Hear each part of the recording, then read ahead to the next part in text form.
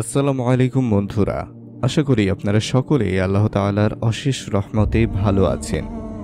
বন্ধুরা, আজকে আলোচনা করব রমজানের প্রথম দশ দিন যে দোয়াটি আমাদেরকে বেশি বেশি পাঠ করতে হবে সে দোয়াটি সম্পর্কে।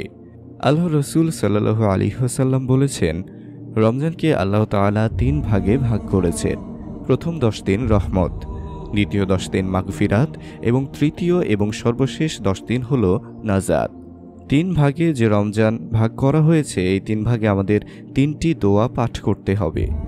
প্রথম দশ দিন একটি দোয়া, দ্বিতীয় দশ দিন একটি দোয়া, এবং সর্বশেষ দশ দিন আরেকটি দোয়া আমাদেরকে পাঠ করতে হবে।